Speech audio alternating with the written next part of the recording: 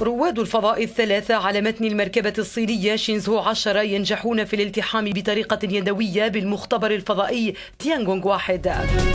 الالتحام اليدوي عنصر أساسي من برنامج الفضاء الذي يهدف إلى توفير الصين محطة فضائية دائمة بحلول عام 2020